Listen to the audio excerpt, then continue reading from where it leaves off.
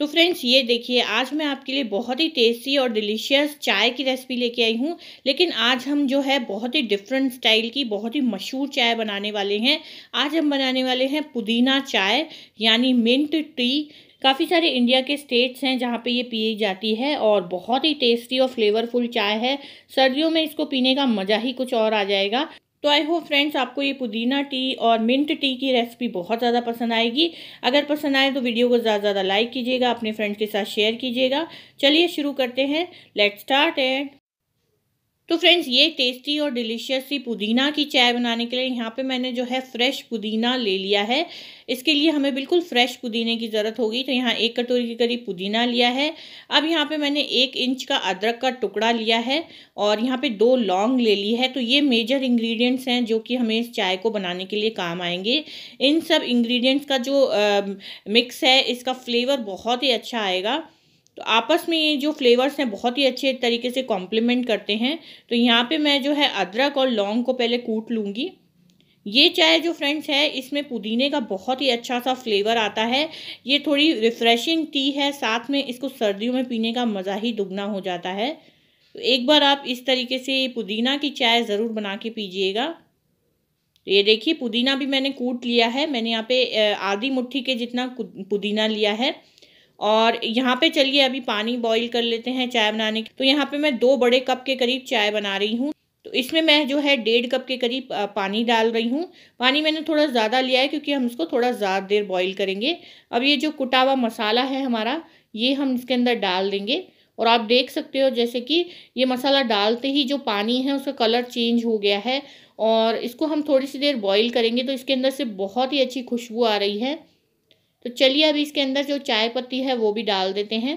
तो मैं इसके अंदर डेढ़ चम्मच के करीब चाय पत्ती डाल रही हूँ और सवा दो चम्मच के करीब मैं इसके अंदर चीनी डाल रही हूँ। चीनी और चाय पत्ती आप अपनी चॉइस के हिसाब से कम ज़्यादा भी ले सकते हो।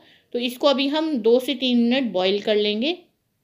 तो ये देखिए फ्रेंड्स दो से तीन मिनट तक मैंने जो ये चाय का मसाला है, इसके साथ चाय को जो है बॉईल कर लिया है। आप कलर देख सकते हो कितना प्यारा आ रहा है और अभी मैं आपको बता नहीं सकती, पूरा घर जो है इस चाय की खुशबू से भर गया है और ये जो है सर्दी में आप ज़रूर बना के ट्राई कीजिएगा। मेरे तो अभी से जो है इस चाय की टेम्पटिंग जाग गई है।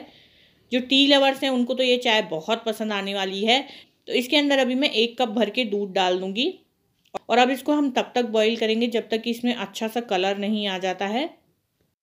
इसमें अच्छा सा कलर लाने के लिए और चाय को अच्छे से पकाने में हमको दो से तीन मिनट और लगेंगे। तो मीडियम आँच पे देखिए इस तरीके से ये जो चाय है ये उफन रही है तो मैं चम्मच से इसको जो है थोड़ा सा मिक्स कर रही हूँ। और आँच को कम ज़्यादा करते हुए ये देखिए कलर आने लगा है अभी चाय का।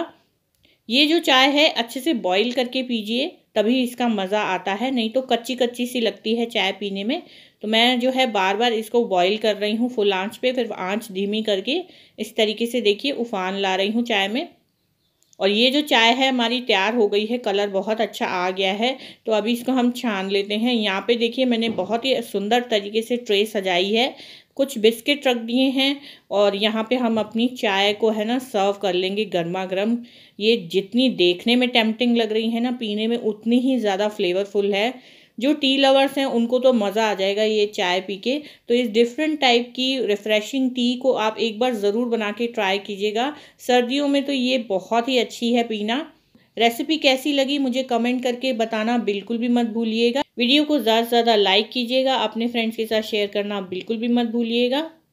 तो फिर मिलती हूँ ऐसे ही किसी बढ़िया वीडियो के साथ तब तक के लिए बाय और फ्रेंड्स ये कुछ दूसरे वीडियोज़ हैं हमारे चैनल के जो आप क्लिक करके देख सकते हैं। Thank you